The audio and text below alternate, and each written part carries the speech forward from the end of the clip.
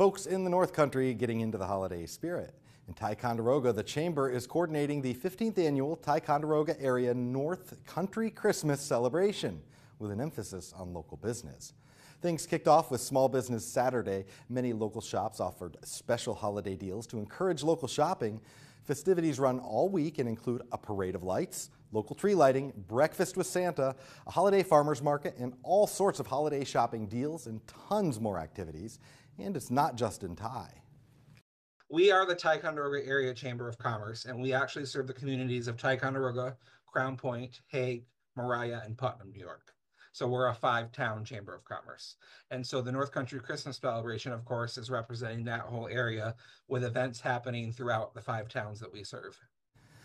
Now, there's something different each day running through this Sunday. So for the full schedule of events, check out mychamplainvalley.com.